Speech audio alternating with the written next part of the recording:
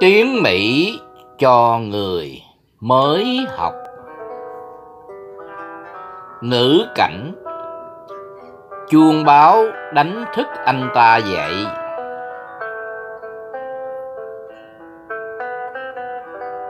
The alarm wake him up.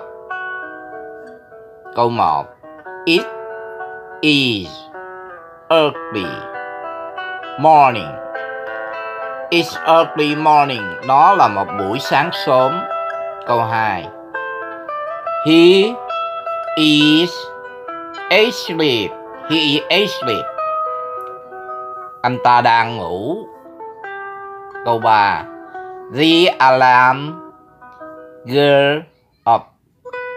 The alarm goes up. Chuông báo thức reo.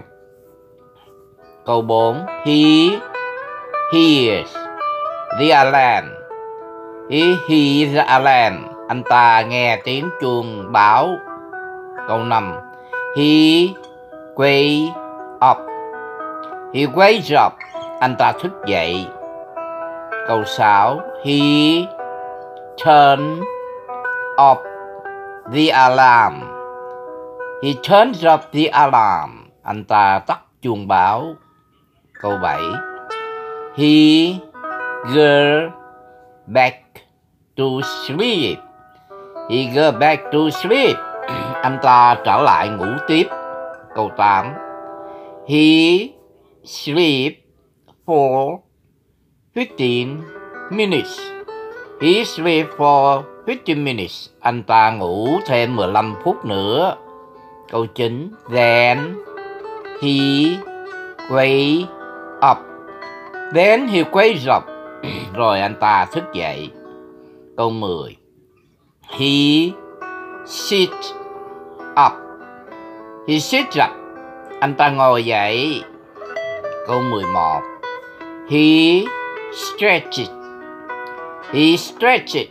Anh ta dương dài. Câu 12. He yawn. He yawn. Anh ta ngáp.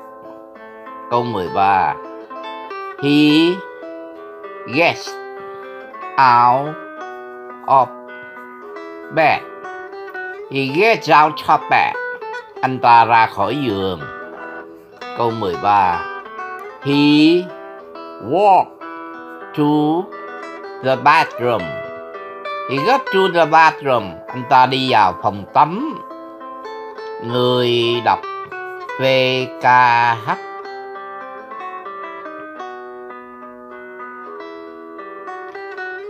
The alarm question mark.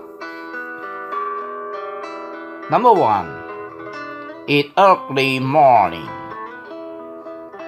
Number two, he is asleep. Number three, the alarm goes up. Number four, he hears the alarm. Number five, he wakes up. Number six, he turned off the alarm. Number seven, he go back to sleep. Number eight, he sleep for 15 minutes. Number nine, then he wakes up. Number ten, he sits up. Number eleven, he stretches. Number 12. He yawns. Number 13. He gets out of bed. Number 14. He way to the bathroom.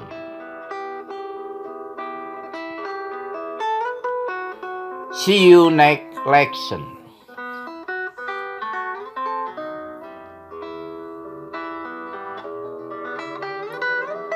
Người biên tập Vương Khánh Hưng. Quynh xin chào bạn. Hẹn gặp lại.